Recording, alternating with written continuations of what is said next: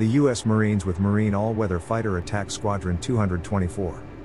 Fly F A 18 Hornets above Finland in preparation for exercise Freezing Winds 23. Freezing Winds 23 is a Finnish led maritime exercise in which United States Marines assigned to Marine Rotational Force Europe and U.S. Navy Forces Europe take part. The exercise serves as a venue to increase Finnish Navy readiness, increase U.S., Finland, and NATO partners' interoperability. In operational logistics, integrated fires, and amphibious operations within the Baltic Sea littorals.